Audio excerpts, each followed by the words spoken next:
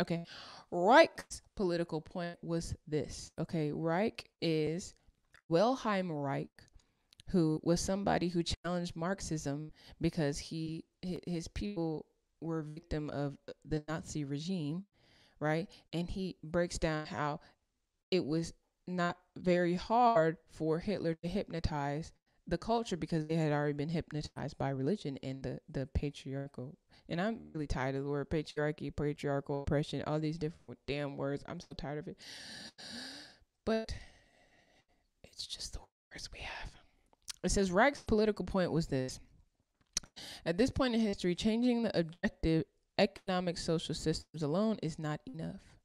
Repressive behavior, sadistic power relations, co- competitive greed to exploit, dominate, and humiliate, and our accommodations to these insults are by now conditioned into the nervous systems of each member of our civilized society.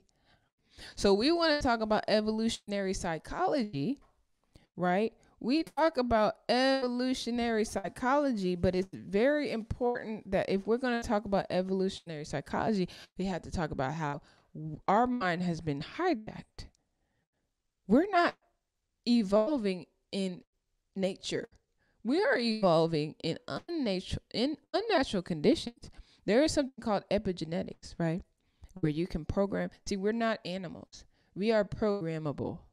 Animals are programmed, they're set to a certain program, they're not gonna veer off that program. We are we are uh, um ye are gods, says Jesus. Ye are gods, right? And because ye are gods, because we are the one of our reality, we have to be very careful of the words that we accept, right?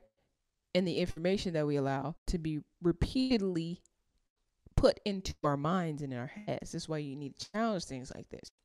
Why you need to question things like this. So you don't get brainwashed. And you need to brainwash yourself. I've spent a long time brainwashing myself. Cause I'd rather brainwash myself than have somebody else brainwashing me. Has somebody don't know me, don't care nothing about me, brainwash me? Absolutely not. Okay. So it says, um, are by now conditioned into the nervous systems, and this is scientific epigenetics of each member of our civilized societies. Both oppressors and victims are damaged by the experience. The repressive wiring of the nervous system occurs at the most intimate levels of sex and of the spirit. We're gonna get we, we going into the spirit. The recreation of the human being must occur on these levels. Also, if we desire a truly human revolution, one that does more than just change the guard, change the mask, change the label. Mm. It says repression, control, and exploitation of female sexuality is a major tool of patriarchy because it goes hand in hand with the exploitation of female labor. Left wing males who see no connection between labor exploitation and sexual exploitation have failed to make a total analysis, or in Reich's terms, they have failed to undergo a total revolution on a neuron level. They are still wired for oppression. So, a book like this, think about men reading a book like this. Most people who are reading this type of book, David Buss, I think most of them are men or male minded women or repressed women. They're already repressed. They have repressed women that'll sit there and, write the book with. They have a book called um, Why Women Have Sex. David, Dr. David Buss and a, a, a, a woman researcher, evolutionary psychologist. And I listen to it based on what I know and all the different perspectives, women center respect perspective on top, as well as you know the psychology, the history, and I could boil the thing down. I got halfway through it. I'm just like, I'm like, this book should be called Why Women Consent to Unwanted Sex or Why Women Have Unwanted Consensual Sex. The mental gymnastics that women go through to have unwanted consensual sex. That is what it sounds like for most of the book. Because w- why women actually have sex is very simple right? It's super simple, right? But why women have, why they have, they consent to unwanted sex, now that's more complex. Now that takes more explanation. Now it, it has to go into, well, you know, I feel guilty because I feel like it's my duty, and you know, I had to. Blah, blah, blah, oh, he worked so hard. What the fuck that got to do with your sexuality, huh? Because if that has anything to do with your sexuality, now you're exchanging, right? But but but like Dr. David Buss said, what did he say? What did he say? He said, um, he said, in the amoral universe of natural and sexual selection, women's bodies and sexual access to their bodies are indispensable assets for men. Indispensable assets for men, right? And it says, in order to keep that indispensable asset, they have to control the woman's sexuality. And what is the cause of most domestic violence? His idea that she's somehow cheating or that he's going to lose her to some other person who he believes is going to control her sexuality. And he wants to be the one to control her sexuality. Why does he want to do that? Right? Why is losing asset access historically to a, a man? Why is losing access his, historically could put a man on a road to an evolution, evolutionary dead end? Right? If he can't replace her, why does it do that? Why? Right? It's not just biology. It's not just baby making it's not just that, it's also about labor. It's also about exploitation of labor, right?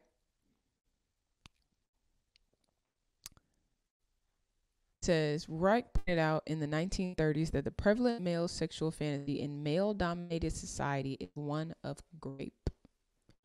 And he knew that this was not a personal fantasy, but a political one. It says with political repercussions. He was very clear on how sexual repression of women has been the most powerful patriarchal weapon in creating social victims. Females, you are not even seeing any of what I've been reading this whole time. It's okay. Females who have been weakened made dependent, fearful, or ashamed of our own bodies and punished for their functions, sexual psychological prey to any predator. Such creatures are easy to exploit politically and economically. People who do not own their own sex cannot own their own labor. Now, I've been working in houses, right? I, I think God has guided me to work in houses, right? I'm in carpentry school right now right? And I've been in houses for, for, for, for some years now, doing work and helping people put together furniture, wallpaper, and different things like that. I'm actually making good, great money doing it, right? But it's almost all women. And what I've seen is a lot of women, they're having babies with men. They're working outside the house. And they're doing all the work inside the house. They're doing all the labor. I had a wallpaper uh, uh, that I did not too long ago. And I'm good at what I do now. It was a pregnant woman. Now, they have a three story house. They, they're making these three story stick houses now. She's pregnant very pregnant. I'm doing the wallpaper for their baby's house. I mean, the baby baby's room. She walks down a flight of steps to greet me, right? Has to walk back the flight of steps. That's a lot for a pregnant woman, especially as pregnant as she is. That's a lot. Just to meet, just to greet me and bring me and show me what I need to do. Okay, cool. I do what I do. It takes me a few hours because they have a weird kind of wall and I hear her husband basically, well, she's still in here. She's still in here doing wallpaper. And I could tell the energy. I I experienced the hating ass husband a lot. I've experienced the hating ass husband a lot. I've I've seen I mean, they don't even care that somebody in there. They don't give a damn. Okay. Husband. Now nine times out of ten, she had to beg this man to allow her to hire someone to do it. Because otherwise, she would have had to do it. Right? And I'm doing it. And he complaining because I'm taking a, a while. Well, bitch, maybe you should help. You could help me, bitch. You could help me. What's the problem? If you feel like I'm taking too damn long, why don't you help? Right? And if you think it's too expensive, bitch, you do it. You didn't even have to hire me. But I'm expensive, bitch. I'm not free. Right? So I get to the end of it. And she catching the attitude with me. She catch the attitude with me. Why? Because of the bill. Now, I'm just like, and I the way I do it, I help save people money, right? The way I do it. But at the same time, it's just like I had to really think about it. And I think a part of the upset is not because, you know, the price, because the price is the price. Like that's just what it is. That's how long it took, and that's what it is, right? The issue is I charge for my time. I charge a good amount for every hour, right? She's big and pregnant. Do you know a surrogate mother is paid a hundred thousand to three hundred thousand dollars to carry a baby? That just to carry the baby. Then she's still doing all the work around the house. Not since she probably still working. If she working from home, she probably still bringing income in. I didn't even know the man was there until he came over there with attitude and then walk back up so he could watch this game. I didn't even know why this motherfucker didn't meet me at the fucking door. Why he got her walking up the steps, any flights of steps unnecessarily when she big and pregnant like that. That shit was pissing me off. And then she get there had there to have attitude with me. Right? Cause she's being exploited and I'm not. She know, guess what? I, I when I leave here, I'm I got my money and I'm gone. I don't have to hear no man telling me shit. It's very threatening. This is why they gaslight with this lesbian stuff. This is why they gaslight with that lesbian stuff. Right? Because because I'm empowered empowered. I'm empowered. I'm not in bondage. Right? Ain't nobody ain't nobody telling me what to do and where to be and where to go. Literally, if I if somebody catch any kind of attitude, any client c- catch a little bit attitude, cancel. Cancel. I'm not, nah, I'm not dealing with it. I don't need to. I don't have to. Right? I'm not dealing with Vanessa's husband. That's not mine. I have literally walked off jobs like, well, uh, you know what? I, I don't need to deal with this. I got plenty of people and I got plenty of work. I, I don't need this. I don't. I'd be wanting to tell this woman, I'm like, your husband is trash, baby. Your husband trash. Now they got some people listening to me. They they assuming, yo, she ain't never been around no men. I'm I'm always around men. I'm around men more than any other type of person. Unfortunately, I understand men. I get it. It's y'all that don't understand men. And they want y'all to not understand men. So they'll sit up there and say, "Oh, she hate men. She ain't. She ain't had no daddy to raise her. I had a daddy raise me. That's why I talk like this. That's why I have this kind of confidence. When I got out into the world as an adult and realize that this is not how the, my father is not how fathers most fathers are then i was like oh yeah yeah yeah yeah yeah no no no no no whoa whoa whoa whoa whoa whoa right? Didn't have nothing to do with my sexuality because i've been i've been who i am what i am since uh, since since pup now. But y'all some lying ass motherfuckers Oh, y'all crazy. Okay? And and what's crazy is my dad was like the model of what a lot of men lie to women and pretend like they're going to be in a relationship. Not completely, but he was closer than a lot of these men. I'm talking about he worked got up work five o'clock in the morning, was at work before I woke up, he mom dropped dropped us off school. She uh, had her hair salon. He supported her in her hair salon, right? He was paying all the, the the major bills. All the money that she was making from the hair salon was going back into the hair salon, right? Um, he would when he get off work, he picking us from school, picking us up from school. They worked as a team. He picking us up from school. He making us lunch and dinner. I mean, yeah, dinner basically. We had a a a, a, a structured menu. Monday, Tuesday, Wednesday, Thursday, Friday. We eat the same thing, right? I don't remember what we had Monday, but we had different things. I remember that. See, I remember the fast food. Thursday was pizza. Friday was Mickey D's or some kind of fast food. That's what I was excited about. But the other days we had spaghetti on one day. We had uh uh uh uh rice and rice, cream corn, and smoked sausages. Don't ask me. I don't know what the fuck that was. But that's what we had every week. And then there was some one other meal. And then there was the rest of the week. Right? Structured. Structured. He he was a girl that he taught us how to do stuff. He taught mama how to drive, taught mama how to cut grass, taught mama electrical. He wanted her to be independent. He was more of the indigenous, uh, how indigenous people moved, right? And um, he also knew that he was getting sick, right? He knew his mortality, right?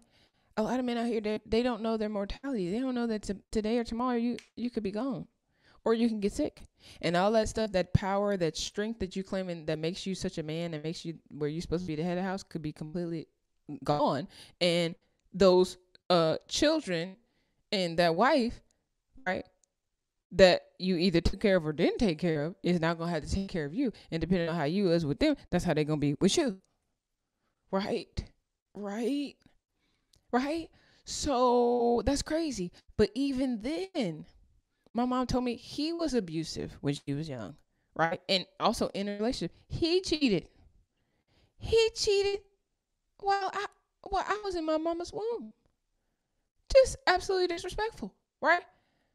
So men behave bad. That's just the I mean, they can have so many great qualities and still behave badly because we are in a society that is makes it so hard for men to behave correctly, right?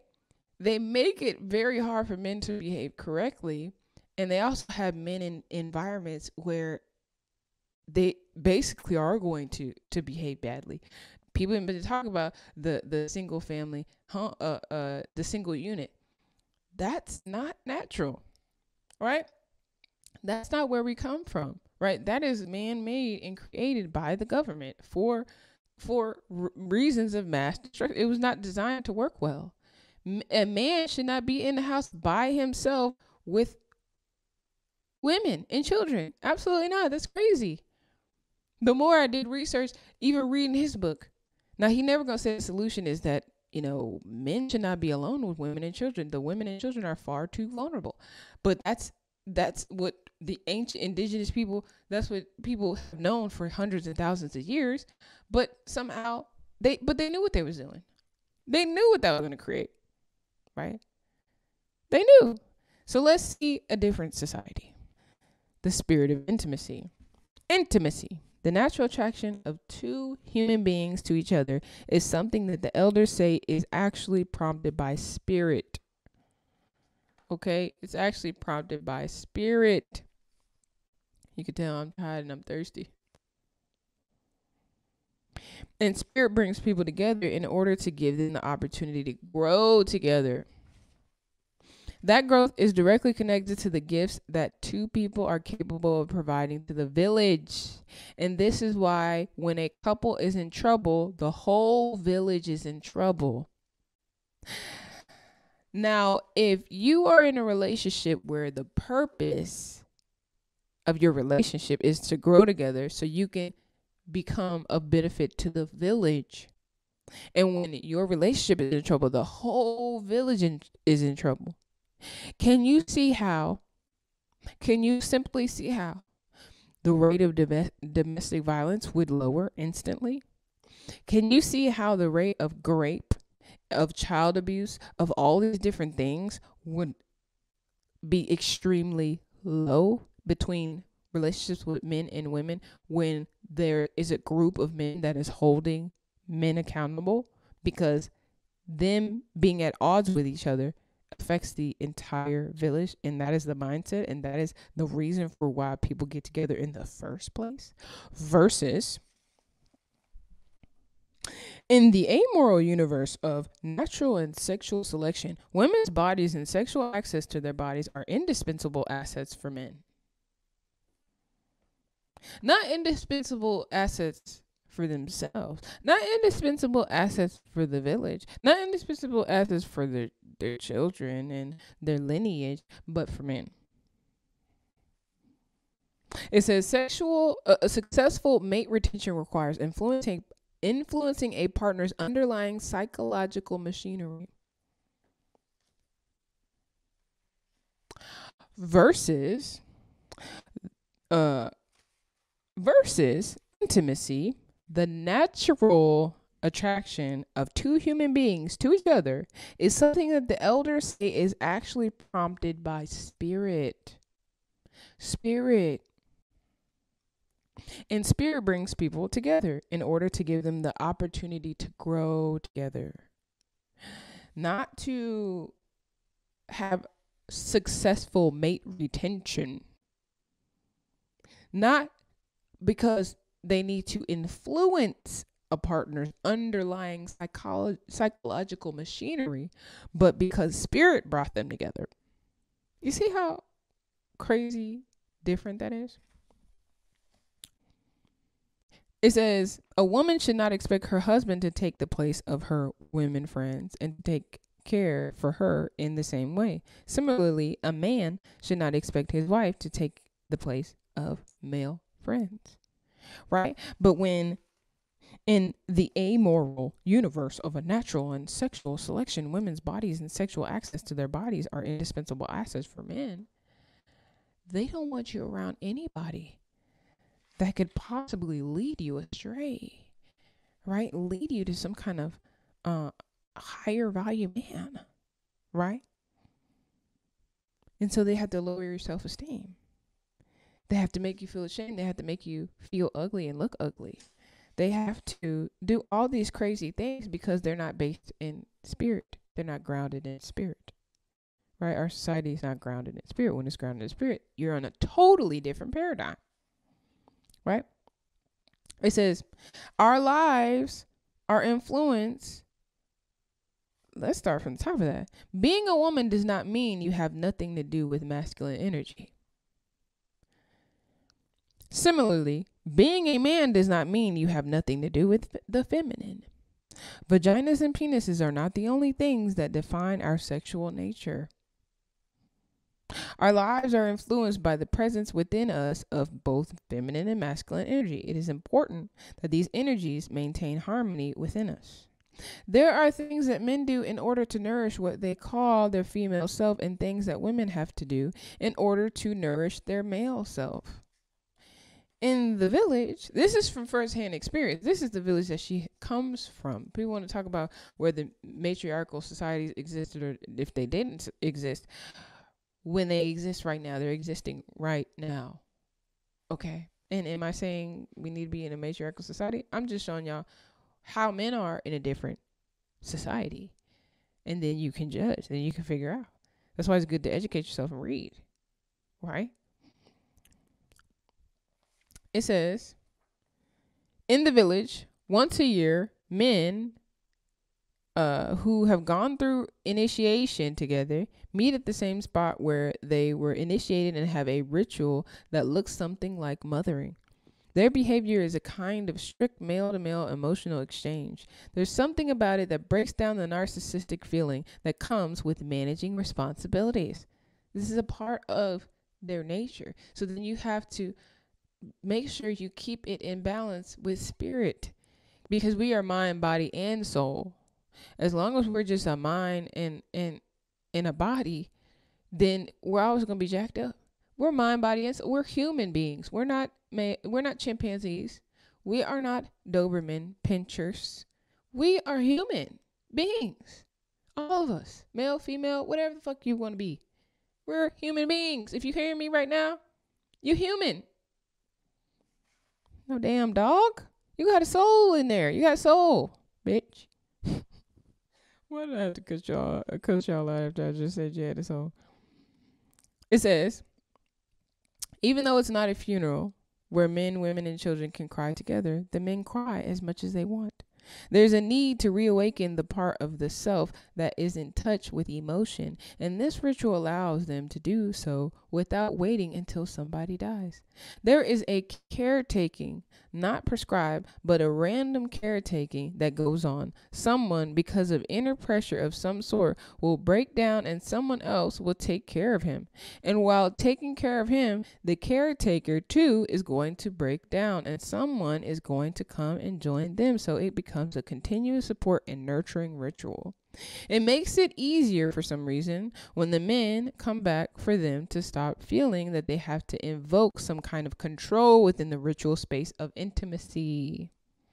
In the other words, when the sense of responsibility and of being a man in the community stops overwhelming someone who has participated in this ritual, the circle of intimacy they create with their partner becomes closer to what spirit wants. The belief is that the male tends to put on his warrior mode even in the ash circle of intimacy. When that warrior self has been has not been tamed by some kind of motherly energy, not outside of him, a motherly energy inside of him. I know that makes if there's any men watching, even women watching, and you're male centered and you and you've been programmed, you already know that probably makes you uncomfortable to to to to fathom motherly energy inside of a man. And him actively uh actively getting in touch with that motherly energy so he can balance himself out in order to connect with a woman. How can an alpha alpha alpha male there in alpha alpha male these the, the this type of males that they be talking what they want is another male. They want you to conform to being a male. This is in the religion that book revealed that to me. I'll show y'all that real quick. This just blew my mind the other day. The Gospel of Thomas. You need to understand just because uh some of this stuff is not in the official Bible of 2024, this is what they were programming people with. This was in the Bible, right? This was in the total Bible. They just decided to snatch it out because it sounded kind of kind of wild and crazy. Now the last part of this right? And let me add this back up here. The last part of this book, the Gospel of Thomas, right? Which you probably have not heard. It blew my mind. This is just some stuff I seen the other day. And it was in this book the goddess mother of earth, whatever you. want. I always get it wrong. I need to get the, great cosmic mother. That's what I'm just keep saying. The great cosmic mother. She broke this down. Let me make sure y'all seeing what I'm seeing. Y'all not. Y'all are not seeing what I'm seeing. This blew my mind. Right? Because you have to understand this is what they were teaching people. In this conversation right now, Thomas is documenting a conversation Jesus is having about getting into the kingdom of heaven. And I'm gonna I'm gonna drink some water before I read this because it it, it it it it took me. I was just like, what?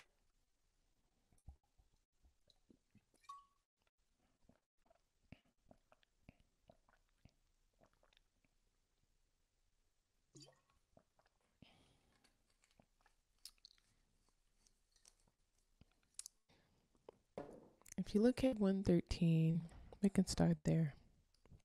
Well, we can, uh, I mean, it's just basically 114. Simon Peter said to them, Make Mary leave us, for females don't deserve life. Did you hear what I just said? It says, Make Mary leave us, females don't deserve life. Then Jesus said, Look, I will guide her to make her male. Did Did you hear what I just said? He said, I will guide her to make her male, so that she too may become a living spirit resembling you males. For every female who makes herself male will enter the domain of heaven.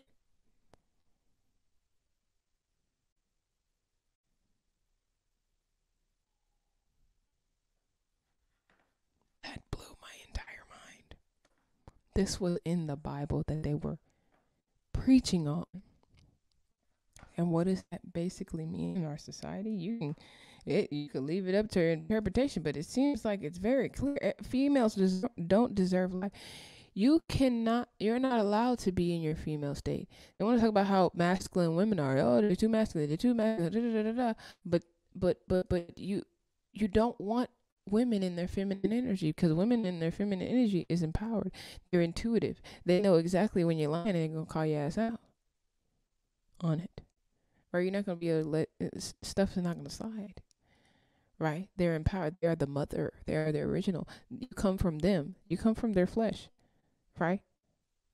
Empower women know that, understand that, understand where they are in as far as value in the world, right? So then it talks about how women harmonize themselves. It says, in the village, in order for the feminine and the masculine energies to live harmoniously, women and men must commit themselves to work at balancing their sexual energies, not women becoming male and male becoming more male, male on top of male, male, male, male, male, male. But in the village, in order for the feminine and the masculine energies to live harmoniously, women and men must commit themselves to work at balancing their sexual energies. When either energy dominates, it becomes overpowering and can threaten the stability of the village. Of the village, do they care about the relationship? Yes, they care about the relationship because of what it does for the village. The reason why a lot of families don't care about, they don't really care about the relationships, is because you have single family units where you're competing with each other and they're already toxic internally. You have so many uh, skeletons in the closet because you can hide. You can just close the front door, lock it lock the front door, lock the back door, and nobody knows what's going on in the house. And if you dare go out there and tell people, you're gonna feel shame because you're competing. You're in competition. You can't let the competition know that, right? Or you don't want people to know that you're in a vulnerable state. You don't want them to uh got consequences. You don't want to interfere. You don't know how. You just go back and forth. But when the relationship is in trouble, when that affects the whole village, when you're moving in a village mentality, then the whole paradigm shifts. It says, for this reason, women not only gather up on a yearly basis with their initiation sisters, but they also get together as often as they can and go to a cave or go to the bush. There, we do a set of rituals in order to build our masculine energy by acting out our rage and anger and by taking on men's roles. Then we go hunting, even though killing is not the emphasis of the ritual be- because women usually do not kill in the village.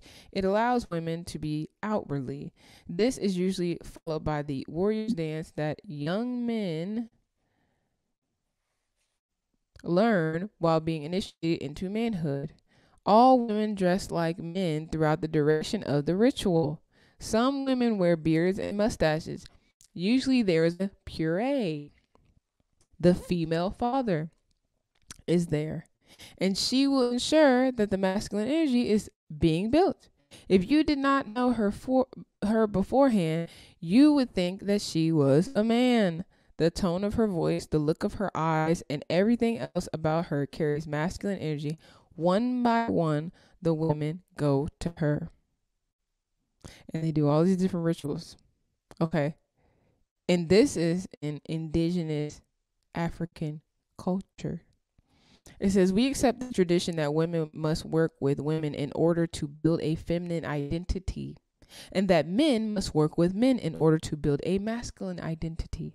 This way, when a man and woman come together, they are better able to relate to each other this is something that um Princella, the Queen Maker, has been saying. And I feel like it's important to know that this has already been done successfully in indigenous ancient times for thousands and thousands of years, and it's still happening in the indigenous cultures to this day. There's something in the indigenous world that compels gender groups to get together in order to work certain things out. I see similar practices in the West in what is called feminism in the men's movement. These are ways for women and men to be, to better their relationships not only with their gender but also with the other sex. You will notice in many villages in Africa that during the days women are all together, men are all together also. This is not a sexist practice. It's just that for some reason there is a feeling that a clear sense of otherness is essential to a harmonious coming together with your mate. Today, we are not called upon to wage war with the opposite gender. We need to embrace the new millennium with a brand new eye, a new heart, one that allows for mutual respect. Women and men live their own mysteries, and neither gender will ever fully grasp the other. The motto of the village is there is not uh, is there not to encourage sexism, nor to make men and women the same, but to create an environment in which both genders appreciate and honor the other. And with that, I'm done with this conversation. If y'all want to come on here talking about this silly ass statistic, I'm tired. I'm ready to go to bed. Okay. Um, and I'm just kind of I'm I'm I'm I'm I'm ready to go. I'm done. But yeah, women they need to be around each other. They need to be supported by each other. Men need to be around each other. They need to be fighting each other instead of fighting the women and children inside the house, stuck inside the house, locked inside the house. You need to be out in the boxing ring somewhere. You need to go somewhere. You need to you need to go. You need to go. Right? Women need to spend time with women. Men need to spend time with men. And it's best if you have a village mindset and you have people in your family, both men and women uh, from both sides of the family, that are frequently coming throughout the house to make sure there's balance in the house, especially if it's a man and a woman and some children together because they are vulnerable. That's just what it is. You need to understand the differences between the men and the women instead of pretending like we're all the same. We all have the same psychology, and we don't. All right. Like, subscribe, comment. I'll see y'all in the next video. I'm out.